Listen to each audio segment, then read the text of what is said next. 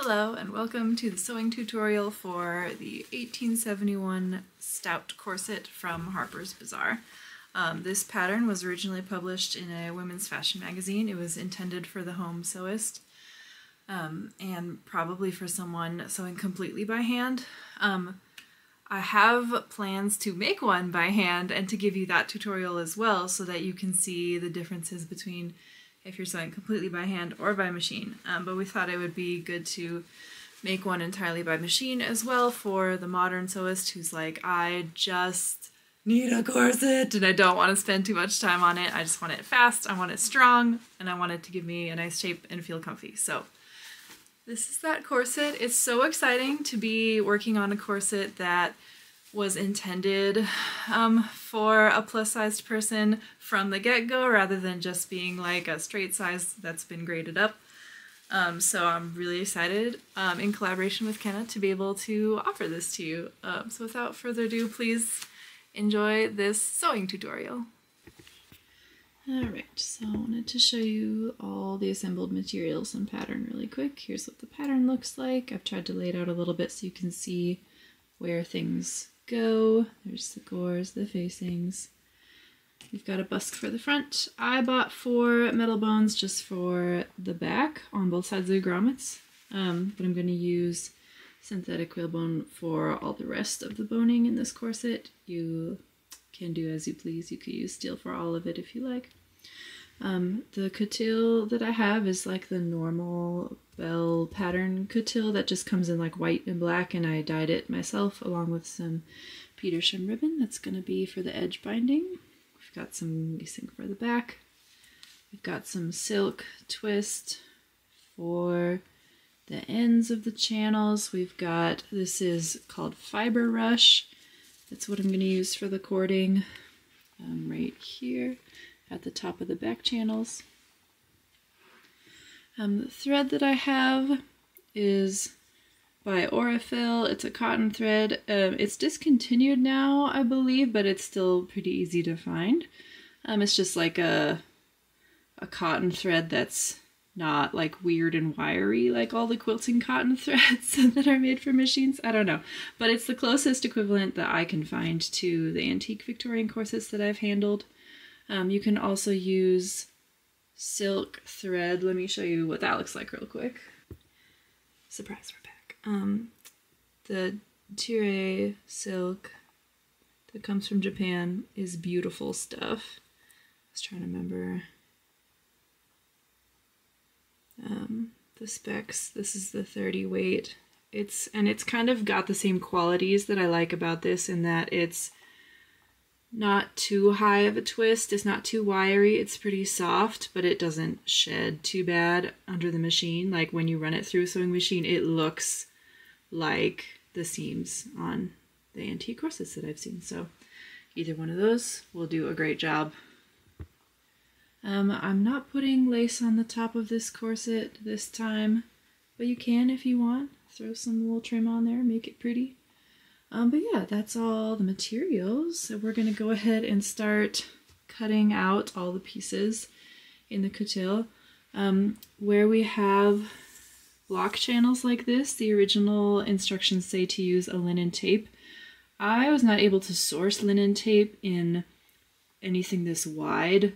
And also I could see that becoming a problem really fast where if you like altered your pattern a little bit and you're like, oh, I just want to add an extra bone, all of a sudden you can't use a particular width that you bought. So like for me, um, what I'm going to do is just like measure across the width, add 3 eighths inch or 1 centimeter seam allowance on both sides, and just cut straight grain strips out of this same fabric.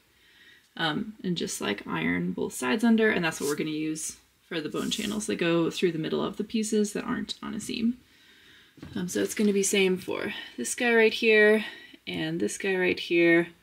Um, but the front and the back already have separate facing pieces provided, so you don't have to cut them again. Um, but yeah, let's get her all cut out.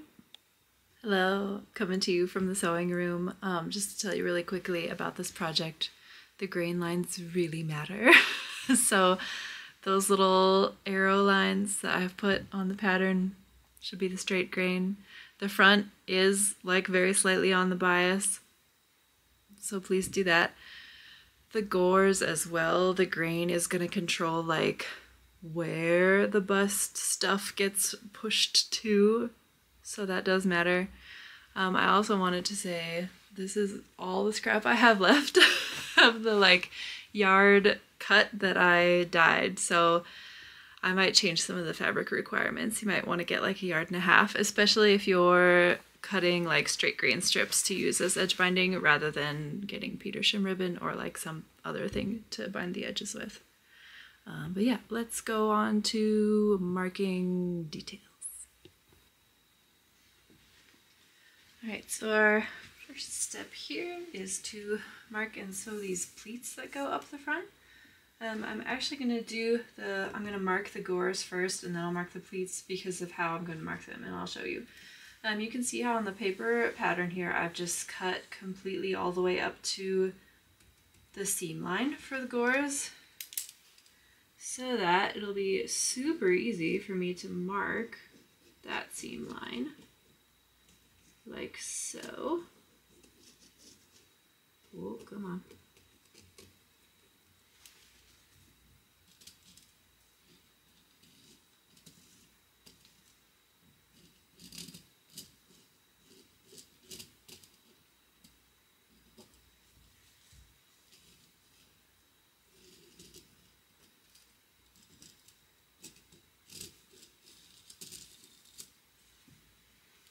Um, so those are all marked. Um, and I think what I want to do to mark these pleats is kind of do the same thing, but I'm going to do it like one line at a time so that I can make sure that all this is like still lined up. Um, so yeah, I'm probably gonna like cut this one off first mark it on both pieces and then the next one and like so on and so forth. Right, so we've got the front all marked. I know it's it's blue on blue, sorry, but hopefully you can see it. Here's the pleats that we're gonna do, and here's the hip gore. Here's the bust. You can see I've marked the seam allowance, but then I've cut out here too to make it a little easier for myself. I've also clipped like two the little corners there on both sides, same for this one. Um, so I'm going to overlay the image right here of the original illustration and you can see in this illustration um, that the kind of side facing oh gosh terminology. You can see in the original illustration that this long side is sewn after the short side a little bit like the way that the lines are going. So our first step here is going to be to sew this side of the, this is the center front. It's going to be sew this side of the gore. Um, so we're going to do that by pressing this edge, laying it like on our bust piece here, and sewing it down. I'll show you all that in just a second. But anyway, so the plan of attack is we're going to sew that. Then we're going to press this line all in one go fold it over to match this line here. And so we're going to sew like this side of the gore and this pleat all in one go. And it'll be the same uh, process for this one where we're going to sew this side first and then this one all in one go. And I am choosing to do those before I do this one just because I think the finishing of this gore might kind of like run into the pleats a little bit. So I think this is going to be like the cleanest way to do all this. Here we go.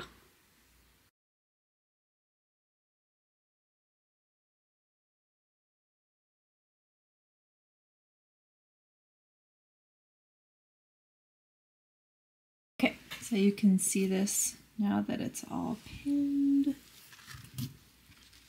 So I've just, whoop, I press that edge and then put it like right up to the marked edge. That's what it looks like on the back. So we're gonna stitch like as close to this folded edge as we can through all the layers, like just a millimeter away. Okay, so we've done that. Going ahead and sewed this down. Oh, so lovely. Um, so the next step, we're gonna flip this over and you can see There's one longer seam allowance provided by the gore and the short one that was the front. What we're going to do now is just press this up like so, like really press with a with an iron, and then sew like a quarter inch away or five millimeters from the line we already made to secure that new pressed folded edge on the inside. I like to sew it from the outside because I feel like the needle side of my machine just stitches a little nicer, but you could absolutely do it. You could absolutely sew it from this side to see it a little easier. Um, the stitch will go down into what will become the pleat, um, or you could end it like right here, but either way, visually, it's going to look like it's going to go down into that pleat. Okay, so we've gone ahead and pressed under and sewn that. Here's what it looks like from the back. I did fold up the seam allowance of the like bottom point here. Um, it's a little bulky, so you might choose to leave it. You could like serge across that end if you don't care about it being super historical or anything. Um, but the next step here, I've gone ahead and pressed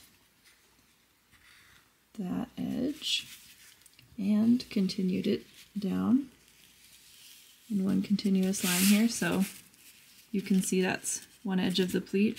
Oh, come on, focus. And that's the other edge. So we're going to kind of do the same way we sewed this. We're going to pin this down to the marking right there. And just and sew it all in one go as close to folded edge as we can. And then finish up the other side of the gore same as we did for over here. So I'll show you what that looks like. Just a quick note um, on curves so because we're putting a straight edge onto a curved edge if you start from here and just pin up odds are it's going to look like this is too long and this is too short so what I do is I uh, I put a pin here first because this point is important that it matches up. And the second pin that I place is this one. So I've made sure that it matches at the seam line here. And then any extra fabric on this piece is going to get eased into this. So it's going to feel like you're kind of pinning more fabric and less fabric together. Um, and it's going to look like that on the back side as well. You can kind of, ooh, you can kind of see it rippling in there a little bit, um, but that's partly because this is such a large seam allowance. We're gonna like fold that back and stitch it down and that's gonna help the curve situation a little bit. But yeah, I just wanted to mention that because I think it's important and it's gonna affect how this bust gore performs a little bit as well because you'll have a little more fabric in this curve versus if you had started here and just sewn straight up, you'd have less fabric and it'd kind of be pulled like a little taut across the bust in a way that might not be the goal here. So anyway, I thought I would mention that. Let's go ahead and, you can see I've pinned it now, and sew this whole thing down. Okay, so we're back. We've sewn this seam and we've also stitched down the other side. So it looks like that. Um, I was kind of torn on this about how to do that because the original illustration didn't have anything over here so you could like invisibly slip stitch down that edge if you wanted to and if I was sewing by hand that is exactly what I would do. Um, this dart once it's sewn is so narrow um, but you could like instead of stopping the seam at the point as I have here you could run this line of stitching like down into that dart if you wanted to. I think that would be also an acceptable solution. So anyway, woohoo, we got one. Time to do the other one. Okay, I'm putting in the hip gore on the front piece here. The bust pieces are all done. And I just wanted to show you this real quick. So when I was pressing this edge under, I noticed that like to get right to the point, my pressed edge was rolling a little farther than what I had marked. So when I go to pin it to the gore here, I'm letting it sit outside the marked line of the seam allowance on the hip just to compensate for that. because if I try to mark up the current pressed edge with the line here, it's gonna make like this area smaller than intended. Um, and also, I feel like this this kind of like curved U shape is very historical. I see it a lot on early Victorian corsets and Regency ones as well. Um, it helps spread the stress a little bit more on a piece like this. So yeah, I just want to show you that. Okay, so I'm at this point on the second side and just wanted to show you something really quick. So I've sewn one side of the gore in, but not the other side yet. And I found it helpful to, at this point, go ahead and press like the seam allowance from the side I've already sewn and the bottom before I attach the other side so that when you attach this other side, you don't have to worry about this edge trying to like fold it up as you go or something. And then once the other side's in, you can do this second line of top stitching like all in one go for the whole triangle. Much better. Okay, so at this point we've got the gores put on the front, the one hip gore put on the back, same method as for the hip gore here in the front. And then the next thing we're going to do is this side seam. Um, and we're actually going to sew it the exact same way that we've been sewing these guys, where this seam allowance is smaller. We've pressed that edge under, and we're just going to lay it on there and pin it and top stitch it as close to the folded edge as we can get. Alright, so this is the back side of the assembled front back piece. Um, I've sewn this part of the side seam down, so it looks like that. And I just wanted to show you before I sew this second side down. Um, I've pressed like the edges of the gores, uh, like uh, when I folded it under, I've, I've used, when I folded it under, I put the folded edge like right up against the seam.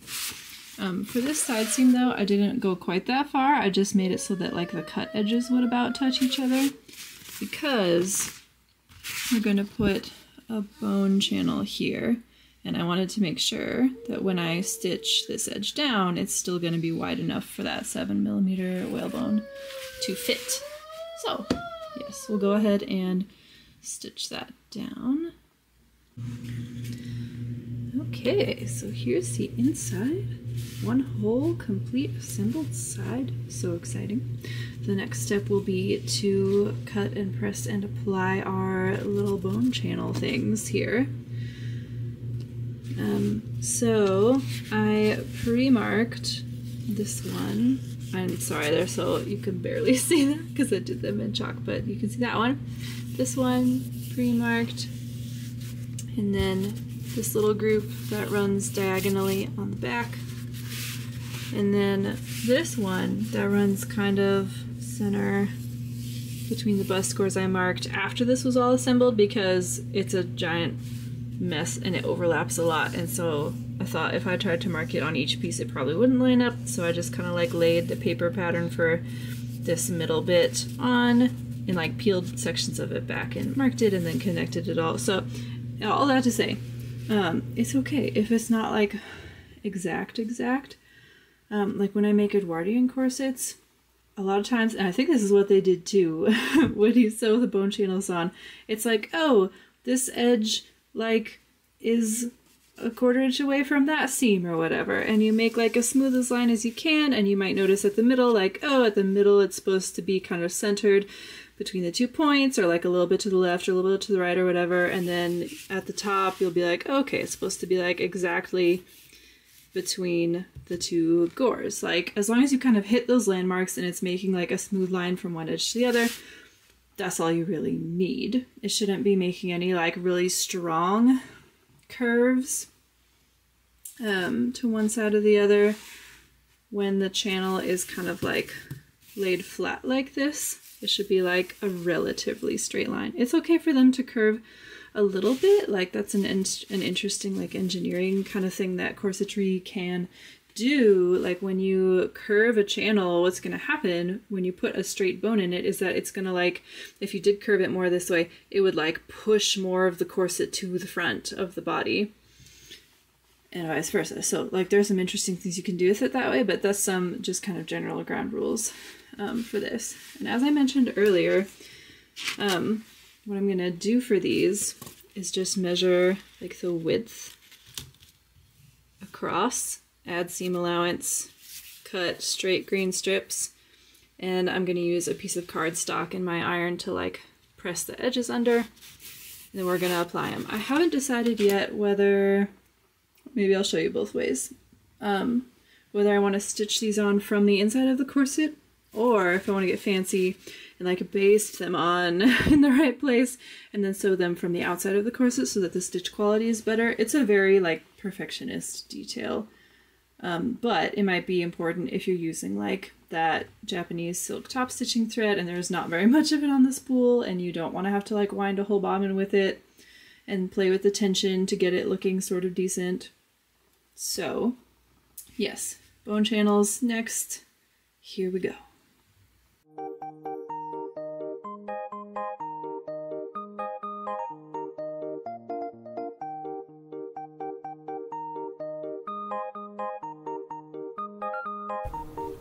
We're just gonna show you the two different options for pressing those channel pieces. So the first one is a quilting bias tape maker and I use this a lot in the half inch width and the three quarter inch width. The pink one is the larger three quarter inch width, but they're pretty easy. You just feed the fabric through and follow with the iron close behind. They make really nice straight lines. So easy.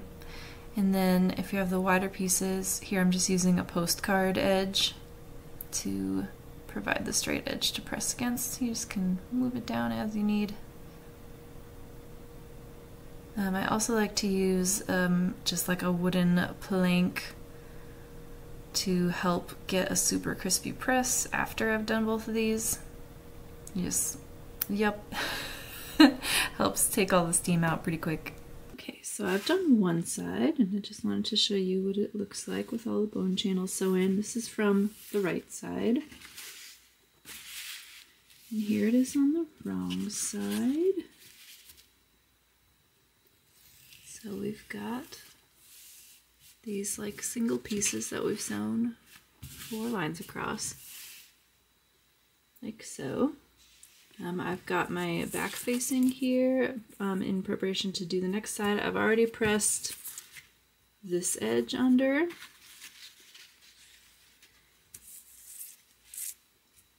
And I've got my kind of block pieces here ready to go in order.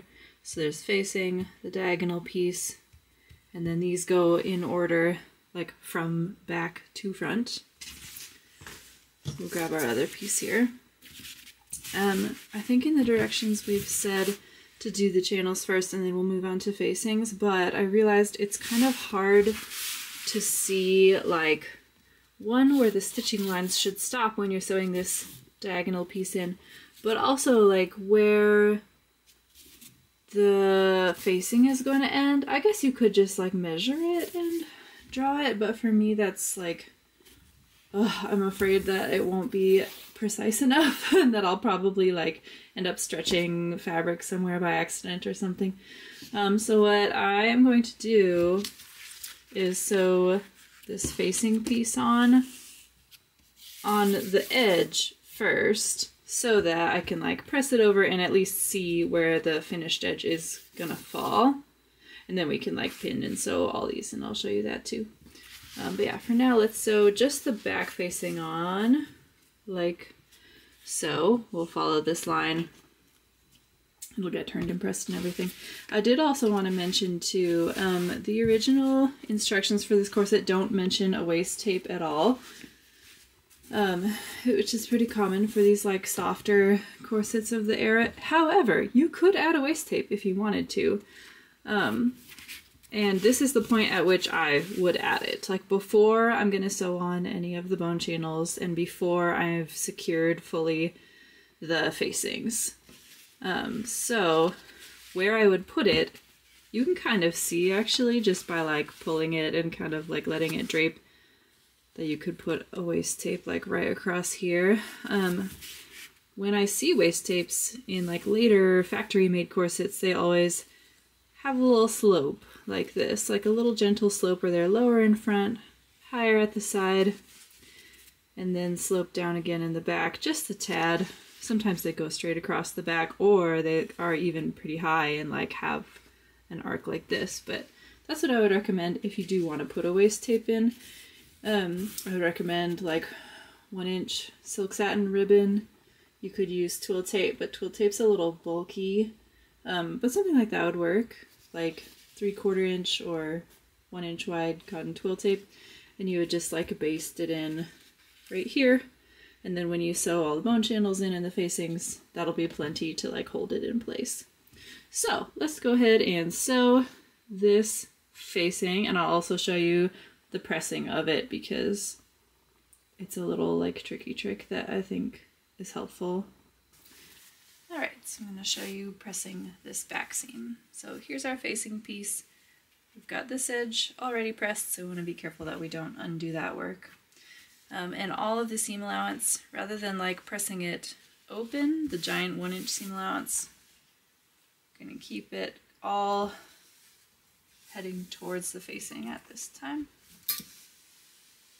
Give it some nice steam.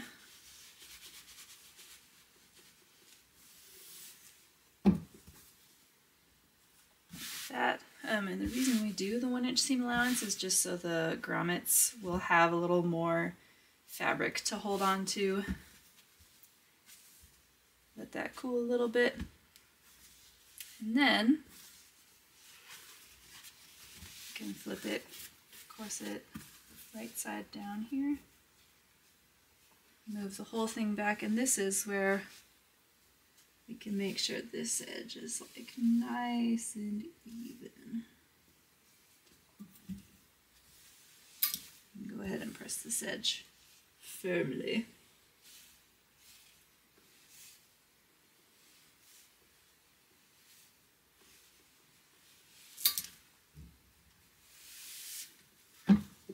Always give it a little tug.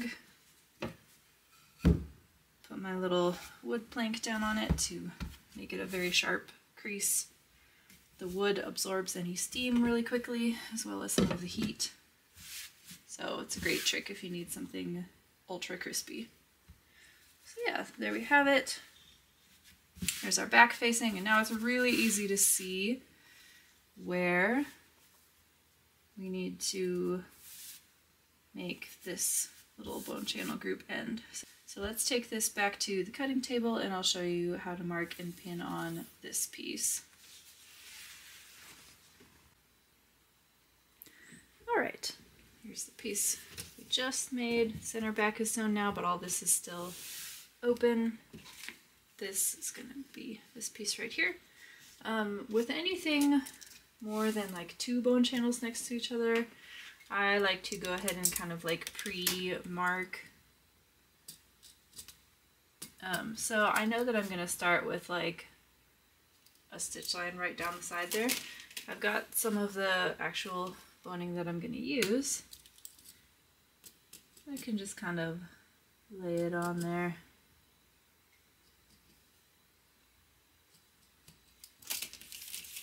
So I know that I'm going to need five lines of stitching to fit four bones. And I'm gonna go ahead and like pre-mark these for myself just because it, I know it will help me kind of stay steady.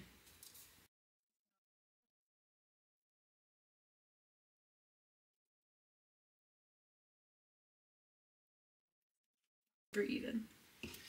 So now you can lay this on here. It doesn't have to be like perfect. It just has to kind of be in the right area.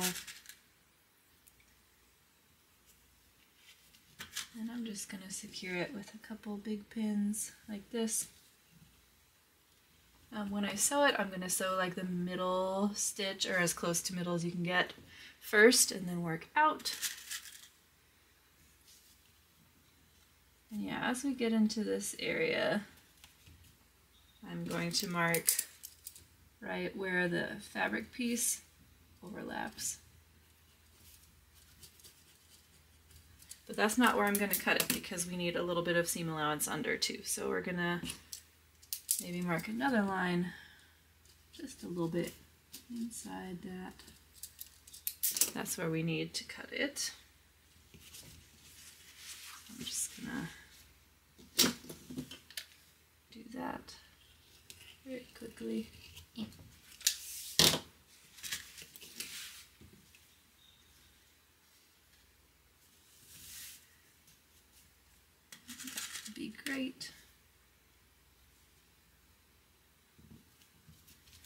So now we can go ahead and sew these lines. Um, and personally, I'm going to stop sewing the lines right where I marked that the folded edge is gonna end because I know that way from the outside of the corset the seam lines will all match up and be nice and I won't have it's like it's fine if you end up with these seam lines kind of running over the bone channels here like structurally but I think it just looks nicer if we can avoid that. So let's go sew this. This piece is sewn. I've given it a quick steam to erase the pen marks. This is what it looks like from this side. Here it is from the outside. Gone ahead and trimmed these up. So beautiful. Um, okay so the next thing that I'm going to do is stitch down this back facing just while I'm here and then I'll continue on and do the rest of the bone channels. Um, I wanted to show you I've cut a piece of like medium weight linen and very heavily starched it. Um, I started doing this just to put in where the grommets go um, a while back because I find it really helps the whole like grommets wanting to pull out after a while thing. Um, even better if you have like gum arabic you can use or if you are in 18th century circles and you are buying like tailor's buckram that's been stiffened with gum, it's kind of the same thing. Um, it's just something that I that I have tried once and found really helpful uh, to like kind of stiffen this area without bulking it up too much, especially since we've already got bulk um, for these channels, we're just gonna do one stitch as close as we can to this edge to kind of help like shore up the edge. And then we're gonna stitch channels for two bones. I like to do this edge first, 3 eighths in, then this edge, 3 eighths in, and whatever space is left is what's gonna be for the grommets. Um, for my grommet machine, personally, I like to set those grommets before I put the bones in. Your mileage may vary. I know um, some people like to do it where they put the grommets in after the bones because they feel like the grommets can kind of hold on to the bones if you're putting them like very close together. My machine uh, likes to cut holes in the fabric if I do that, so I will not be doing that, but like I said, whatever floats your boat. So I'm going to go ahead and sew those lines now. All right, so we're back.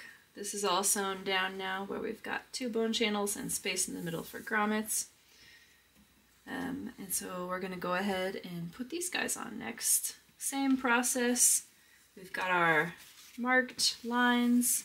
Um, for marking this line, since it was kind of a, a bit of a mess with all the um, pleats and everything, the first thing I marked um, took the piece that that I had cut apart. And you can match up this corner and this pleat. The line of the bone channel that I could see all the way down I marked that first.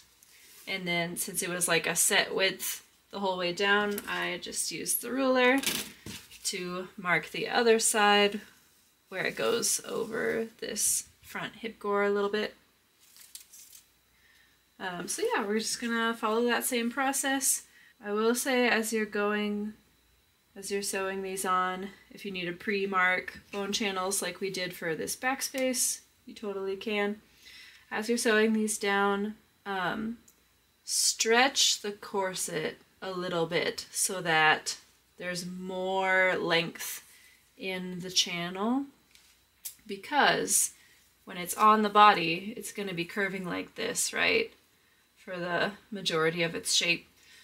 Um, so this curve will have to travel a little bit farther than the outside of the corset. So this will help it be super smooth when it's all on.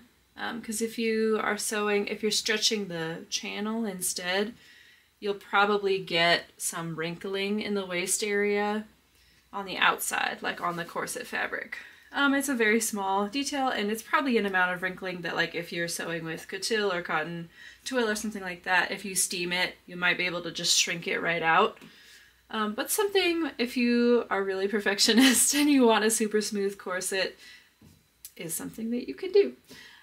Um, so let's go ahead and sew in these remaining three channels and then we'll get to putting in the busk.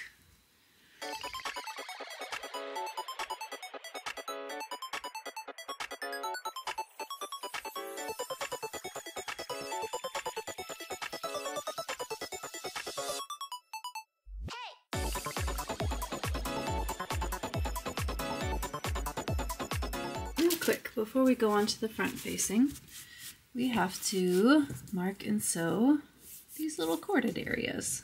Um, so what I'm going to do for that, it's just one more line up the middle of each channel. So I'm just going to lay it over and kind of peel it back and look at the height here.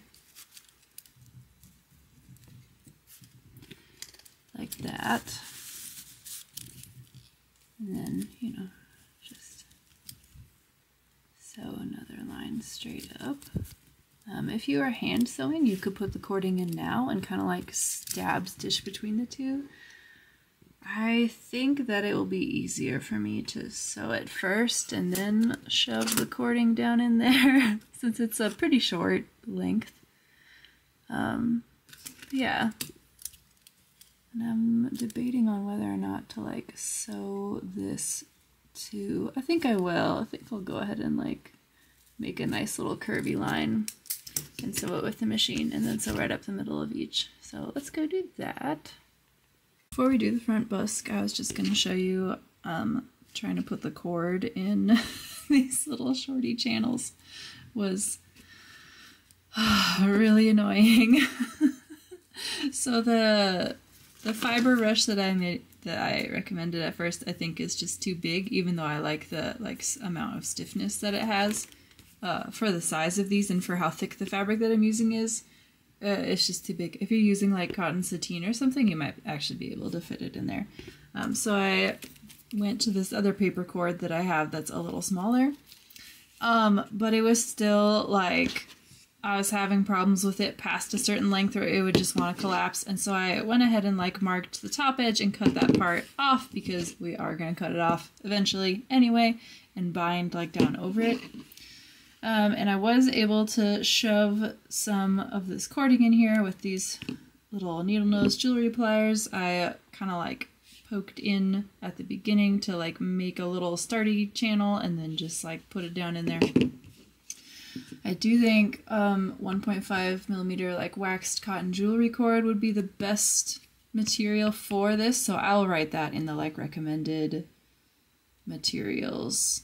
Yes, because I think that would be that would do what we want it to do without it being so hard to get in there. But yeah, intriguing. so we go ahead and do that on the other side and then I'll show you how to do the busk going to put the front busk in now. Here we have our completed wearer's right side of the corset. We're going to make this as if it were for a right-handed person. If you want to make it left-handed, all you have to do is turn your busk upside down and do this on the other side of the corset. Um, so first we're going to do the loop side. Um, and I'm going to work on the facing piece for this because the front piece of the corset itself is cut a little on the bias and I don't want it to stretch. Since the facing is cut on the straight grain, this will be a little more of a stable option. So um, it's going to go on like so, right? This is the wrong side of the fabric.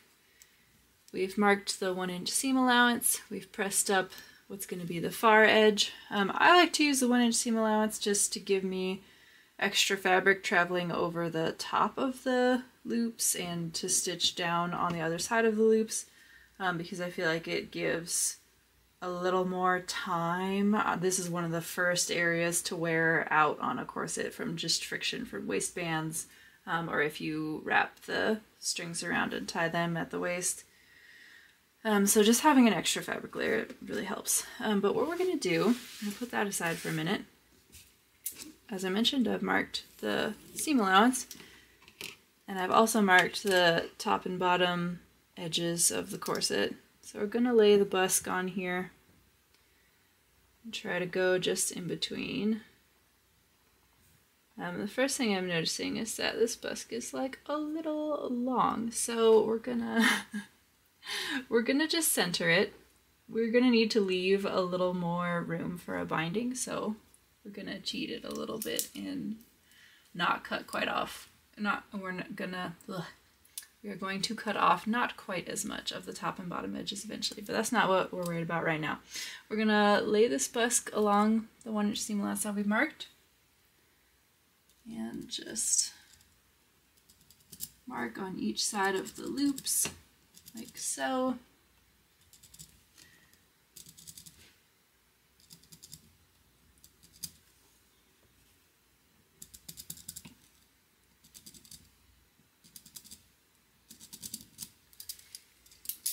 Set that aside for a minute. So that the next thing we're going to do is sew this facing on and we're just going to sew down the front, skipping over those areas that we marked where the loops are going to poke through. So you can start and stop the stitching on each side of the loop if you want. Me, I like to maybe do a little bit of back tack, but then just kind of lift the foot up and continue on the other side um, so I don't cut the thread in between. You can do whatever you like. And then we're gonna like press this to the inside, same that we did for the back facing. Here it is sewn on. Um, you can see this is a particularly narrow facing that is really like just barely going to hold the busk. So I'm going to cut down my one inch seam allowance and on the final pattern for y'all, I will make it smaller.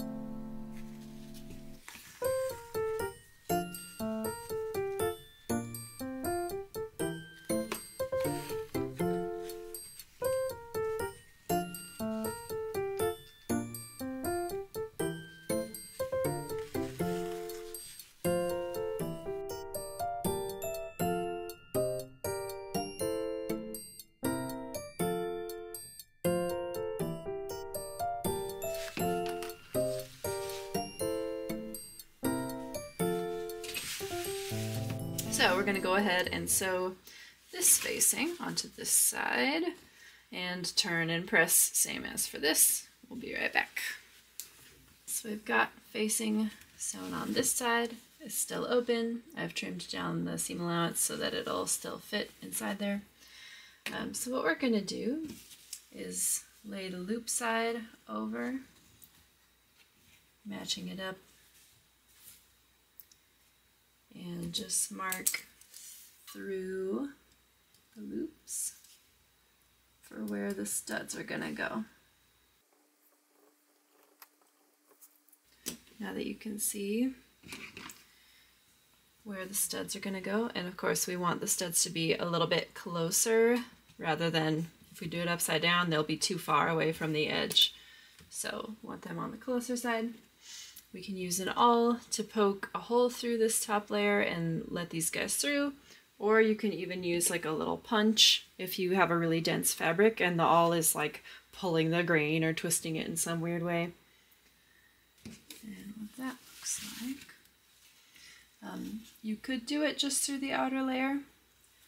You could, I suggest doing it through at least this seam allowance because that's the reason that we left it long if we can get the seam allowance on top of the busk here, that's really going to help with the longevity of the corset.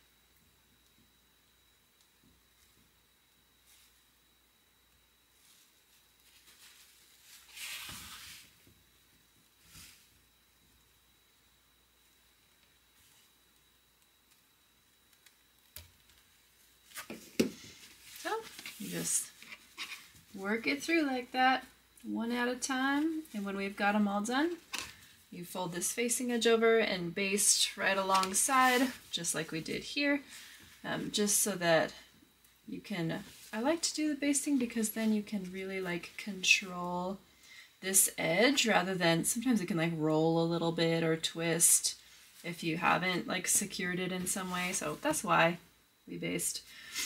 Once it's in and basted, then we can go over to the machine and put a zipper foot on and sew right next to the busk. So let's hop to it.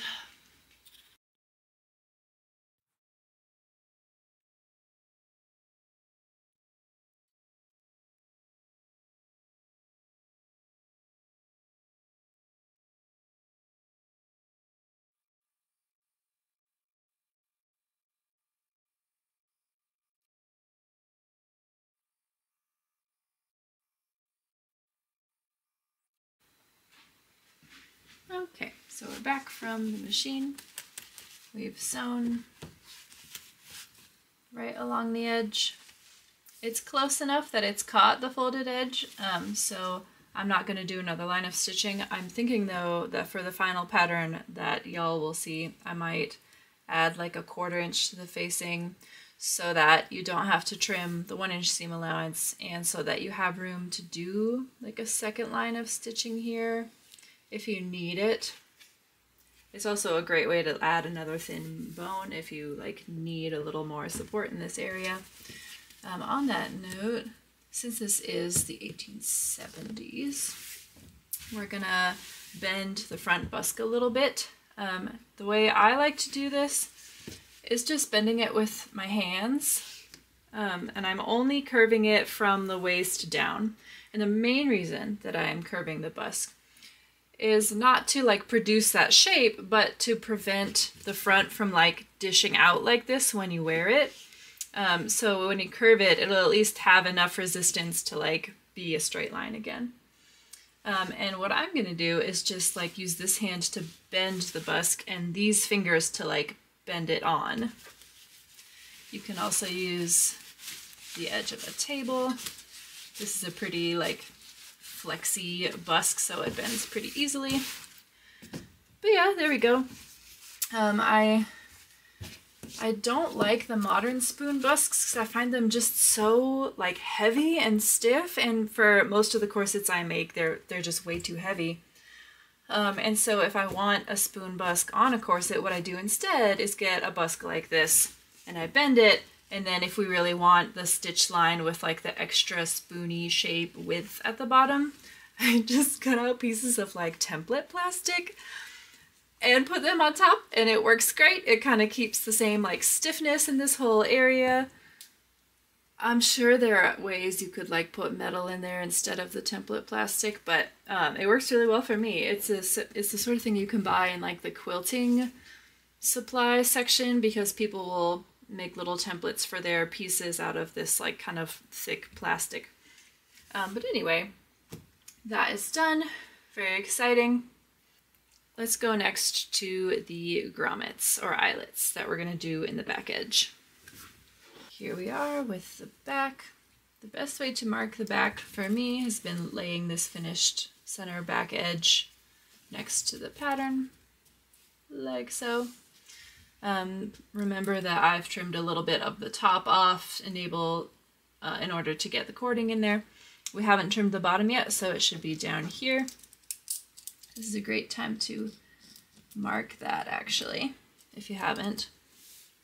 And then to mark the eyelets, I'm just gonna go straight across like this. Um, if you wanted to be even more precise, you could take a little punch or an awl or something and like punch out the paper pattern holes and mark them through. Like lay it on top of your fabric and mark it through there. For me, like, you can see I've, I've gotten a couple that I didn't like and I'll just, this is like the heat erasable pen, so I'll just kind of cross them out. I don't know.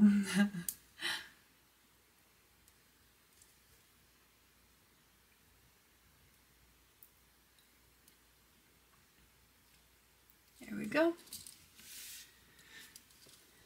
Um, you can, again, use the awl to open up the holes before you put eyelets in if you want it to be a little more resistant to tearing out. Um, I use a I use a set of dies and grommets that are self-piercing, so they like cut and put the grommet in all at once. Um, so I don't know, I might try just to show you what it looks like to like open it up first. You might need to get like um, a sharpened dowel or a chopstick or something with like a smooth edge to enlarge the hole a bit because I think this hole's probably a little small for the eyelets that I use. Um, and on that note, for the eyelets that I use, um, I like the double zero best. I think the X double zero, which is a little smaller, is a little more like historical size. Um, but it's up to you. I the double the X double zeros that are real small are like the right size, but I feel like they really hold the lacing in a way that I don't always love. Like I kind of want the lacing to be able to slip through a little easier. And that might be just like kind of a wearing preference too. So at least I can give you the information and you can make an informed decision on which you like better. As you can see to mark the second side, I'm just laying them right next to each other. I have seen a wonderful trick where if you do the grommets or eyelets on one side first, you can then lay that side onto the side that doesn't have them yet and just mark through the eyelets. So that is also a great trick.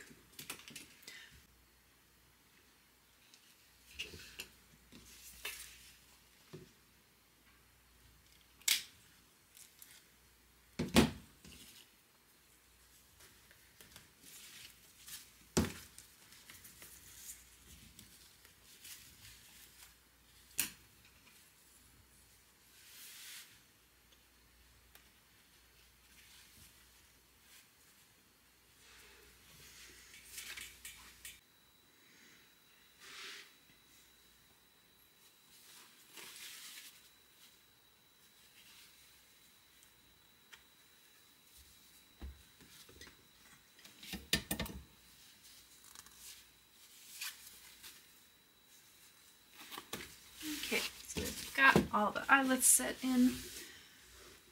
What I ended up doing was punching a very small hole and then opening it a little more with the chopstick and that felt like a good compromise and all the eyelets feel super solid now. On our directions, the next step, um, as listed in the original, is to put all the bones in.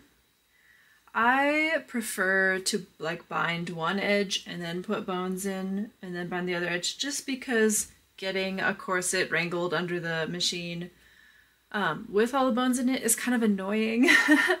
um, so, I don't know, I might jump a little bit back and forth.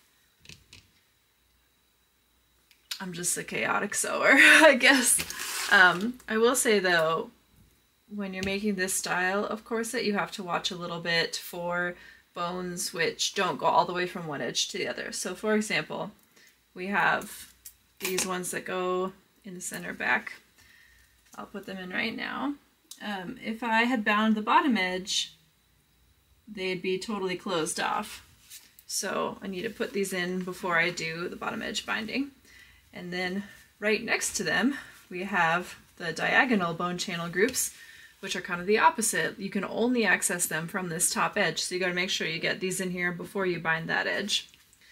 Um, if I remember right, the directions for this corset also have you do the flossing first um, before you go ahead and bind the edge, which is intriguing. I guess there's no reason you couldn't do that. I usually wait until it's all like bound and done to kind of see everything because I'm trying to like make everything even and I feel like if I bind it afterwards, it might be kind of uneven.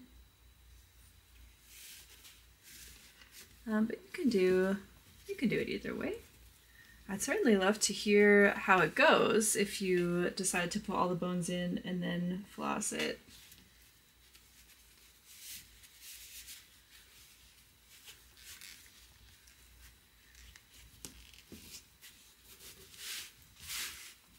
So now we've got the bones in the back. I think what I'm gonna do is go ahead and mark and trim and bind this bottom edge. So you can see that I've got the back marked. Um, if you want to be really precise, you can like lay the paper pattern pieces on and kind of see, you know, account for any shrinkage or any like edge shredding and like remark. I I just kind of eyeball it to be totally honest, especially if I have like, you know, a seam edge that I've like sewn a little bit unevenly or something. Um, you just kind of like even it out between them. Um, I will say you especially want to mark the top and bottom edges at center front and center back. Um, you can see right here where the edge of the busk is. You want at least a quarter inch past that um, to be able to sew that binding on. That's like the absolute minimum, so I might cheat that even a little bit more. Just so I'm not sewing right up against the busk, which can get exciting if you're not careful. Yeah, you can go ahead and I can show you.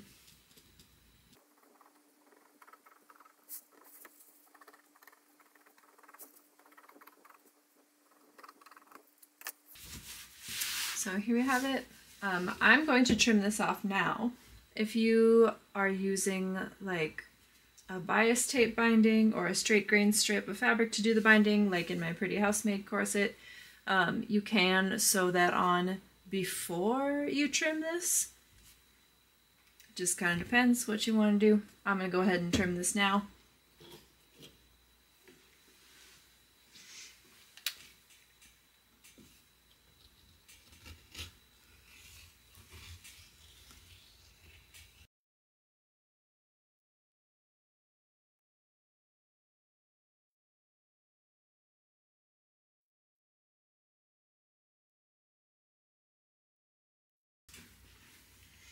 That's all nice and trimmed, I'll take it over to the machine and show you how I do the Petersham binding in one step.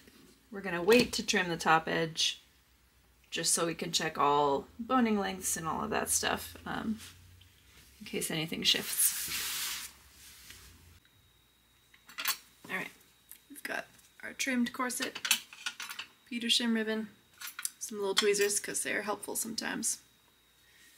Um, the way that I start these is by overlapping it just a little bit like this. We want it to be tightly wrapped around that center front edge.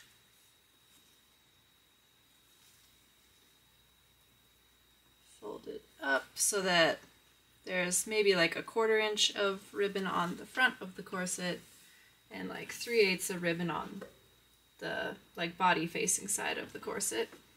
I have a knee lift presser foot which helps a lot with this. That's how we started.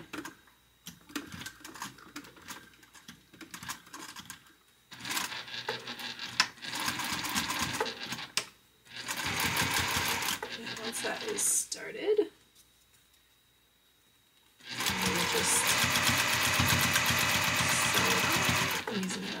the same small stitch length that I've used for the rest of the corset. I am stretching the Petersham a little bit as I go. I'm trying really hard to make sure that it's like right up against the cut edge. There's not any like gap.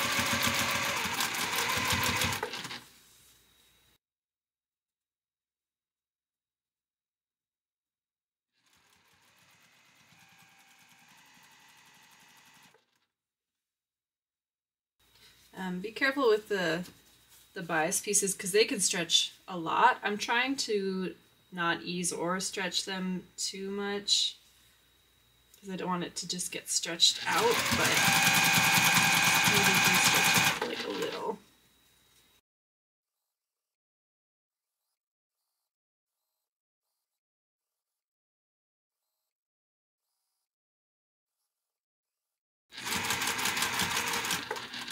Okay, and then when we get to the end here, I'm gonna stitch till it's mm, maybe like 5 eighths of an inch away. Do a little back and the thread. Gonna cut this. We don't need more than like 3 eighths of an inch or so. And then we're gonna wrap this top layer around the corset the same way we did at the front. Hopefully I can show it to you. Like that. Yeah. And fold that side down. And then we can keep on sewing. And this is where the tweezers can be helpful, like if it's um it's poking out a little bit here, you can oh get out of there here. If it's folding out a little bit here, you can like use the tweezers to kind of pull it a little bit tighter.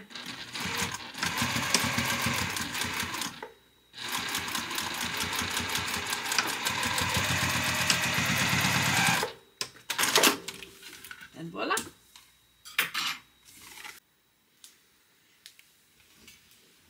Okay, so we've got the bottom edge all bound. So pretty.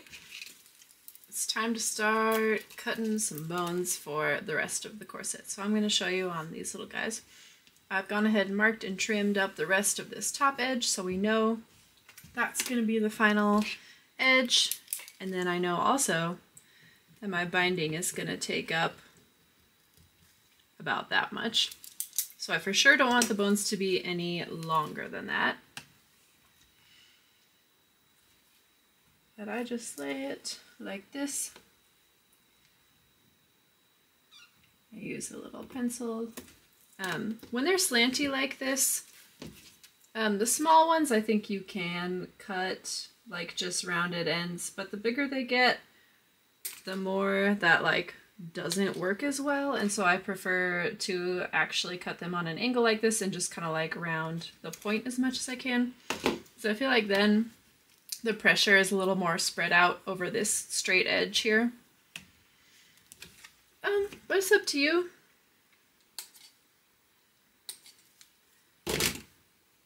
It might, um, it might depend to how you plan to floss this. Like if you are, if you really love like the teardrop shapes that we see a lot for this era of corset and in this area of the corset, like on this back with the diagonal bones, um, then you might cut it a little shorter here because you'll be stitching around the end of that bone and doing like the teardrop design like that.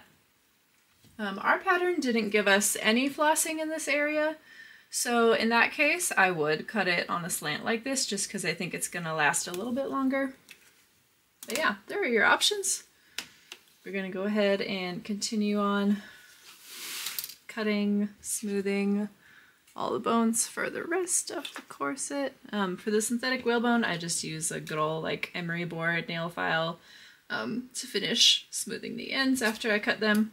For the rest um, of the bones, for the length you want to cut them, um, I like to leave maybe a quarter inch or so of extra room at the bottom and top edges um, I don't recommend cutting the bones the full length and just trusting that the binding is going to hold them um, because it's going to be kind of unnecessary tension in that case. And since we're doing this like antique corset, they for sure we're not cutting them that long. in some cases they're even like a full inch shorter and they're just there to kind of like hold the fabric taut. Like if you learned anything about corset making today, um, I would say take that with you that like it's the fabric that's doing the shaping. The boning is just there to hold the fabric taut and keep it from like collapsing into a scrunchy waist belt. So the way that you cut your boning and how long or short you choose to make it is totally up to you. But for this era, it is acceptable to do it quite a bit shorter if you need, but I like to do within like a quarter inch to three eighths inch shorter on each side. So yes, we're gonna go ahead and cut all the boning and put it in and then do the binding on the top. We have here two halves of the corset. I've done the flossing on one side so I can show you where it goes and how it looks, and then on this side I will teach you how the stitch goes. So on this side, um, I'm just doing these little V's, which are, for me, the fastest and strongest, like structural flossing. So we've got them on the ends of all of the vertical bones, bottom and top edges, like so. You can see the cording is like above that point. Um, these bones I didn't do any flossing on um, because they're so small, um, but also because the original instructions didn't say to do any flossing on these, so I'm leaving it off for now. And then I've also done the top edges of all of the bones.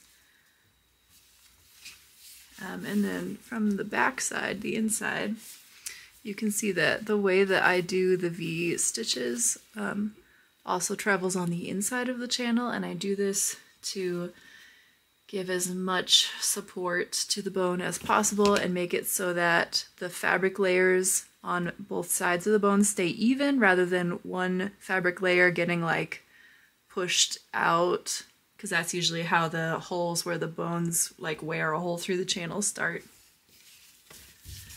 So that's how that looks. All right, we've zoomed in a little bit more so we can show you how to do this flossing. Um, this, of course, it's just one way to do it, but it's the way that I like to do it.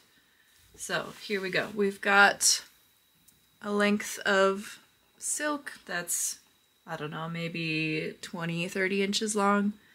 Um, I've tied a little quilting knot in one end. It's just single threaded through a nice embroidery needle. You definitely want a sharp needle that can pierce easily since you're going through so many heavy layers. Um, you want to work the bone in the channel to centered so that you have like about the same amount of space in the top of the channel that you do in the bottom of the channel. That's just my like personal preference, but that's what's going to make your corset last the longest. So we're going to start this from the inside going to the outside about one inch above where the bone ends, which I've hit with my fingernail right here. Like that. Um, and then we're going to poke the needle down a little bit past center. So like if this is the center of the bone, we want like maybe a millimeter or two past that because these are, even though the visual effect is going to look like a V, it's going to overlap a little bit. So we've got that. The next point that we're going to come up is right across the channel from the first point that we came up at. Like that so that now on the inside it looks like that and the outside it looks like that. So we're kind of making um, the same design on the in on so we're making the same design on the outside and the inside. Um, next point that we're gonna poke down at is just past center on the other side. Stab through all the layers like so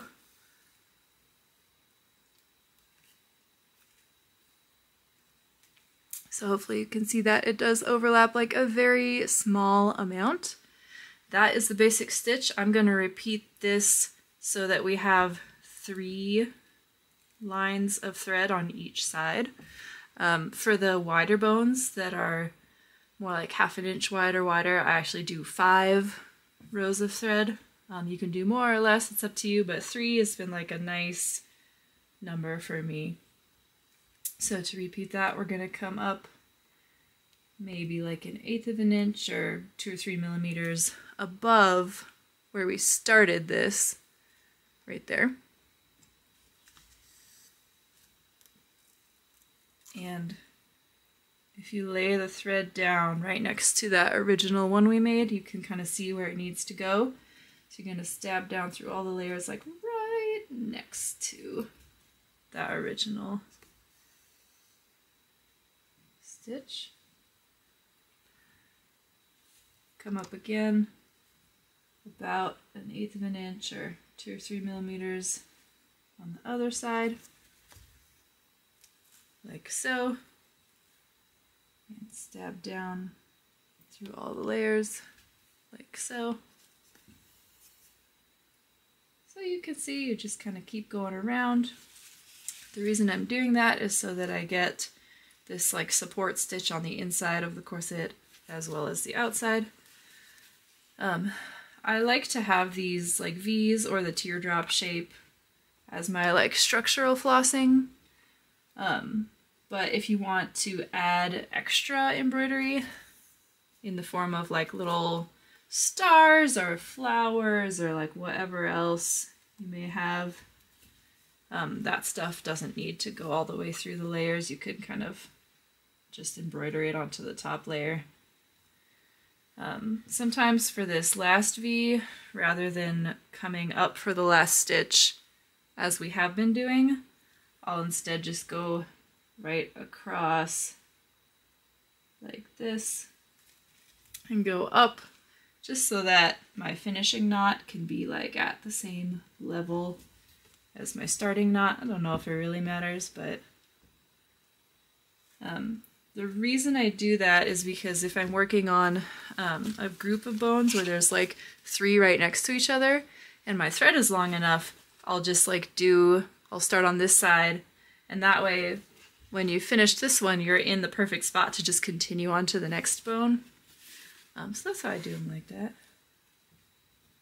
But now that we've got three of each, if they're separating a little bit like this, you can kind of use your needle to like scoot them, pack them a little closer if you need to. Um, don't worry about it too much though, as long as they're holding the end of the bone, that's really all we need. Then we're going to turn it over to the other side. Um, and to make this final knot, all I do is take like a teeny tiny stitch that gets enough threads that I'm confident that it's not going to just like pull right out again. Like this. Wrap it around two or three times and just pull through like so. And then you could clip it right there, but I like to bury the tail, so I'll stitch just kind of through the back layer of the channel here like that. And then trim it very close. So that way the tail's a little bit hidden and it won't be rubbing around. But yeah, that's how you do it. Now I just got to do the rest of the corset.